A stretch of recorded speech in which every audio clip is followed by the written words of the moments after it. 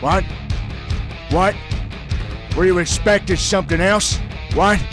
You were expecting a actual episode 4? What? Were you expecting something like this? Or maybe crazy moments like this? Or maybe some five feet of trash like that? Uh-uh. I know what you want.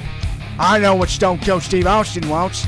You want to see me open a can of whoop house in the next episode, something like this? Or something funny like this? Or a couple stunners like that? The fact of the matter is, you do not judge a book by its cover. You don't judge an Austin by its cover.